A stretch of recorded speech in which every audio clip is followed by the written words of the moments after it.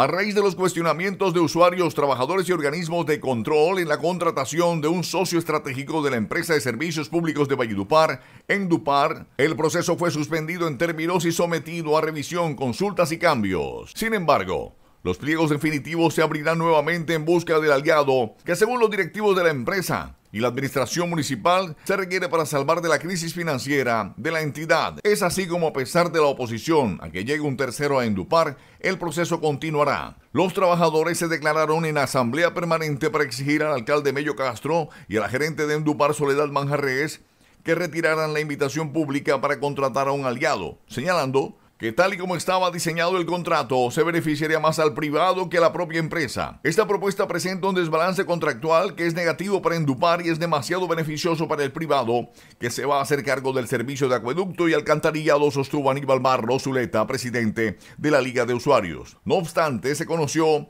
que a la propuesta inicial se le han hecho más de 13 modificaciones y unas 300 observaciones, de las cuales se reabrirá el proceso. El proceso para contratar un socio estratégico para Endupar se reabrirá este 26 de noviembre.